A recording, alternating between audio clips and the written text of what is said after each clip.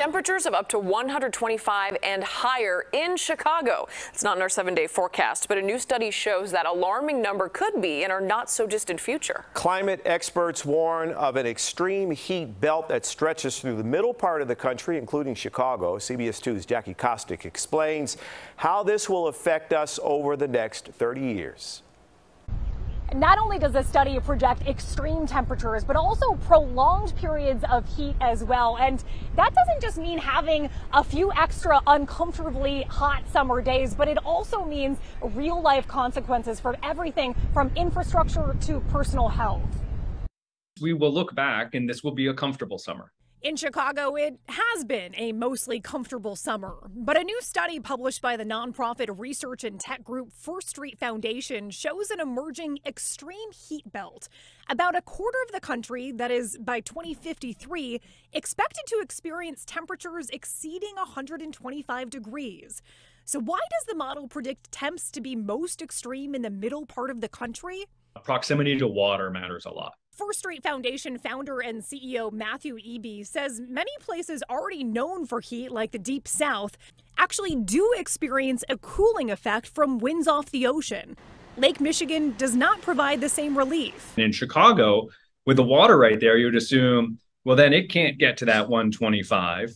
But the way the winds go with the prevailing wind, it go it doesn't come from the water, comes to the water. So the heat is not actually helped by the water and the proximity to the water in the same way that it would be if you were in Florida, Louisiana, or or Texas.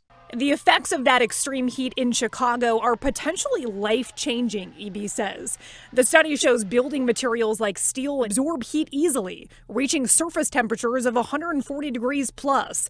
That could burn people's skin and dogs' paws on the sidewalk, Eby says, and cause joints of bridges to swell and railway lines to become wavy, leading to possible derailments. That's when you're talking about the integrity of bridges built to the wrong standard for what you would expect for the joists or the points that actually have to bear the weight. So when that heat impacts it, these the stability of the metal isn't what it would be at a lower temperature. But infrastructure is just one part of it. Amir Jina is an economist and climate scientist who teaches at the University of Chicago.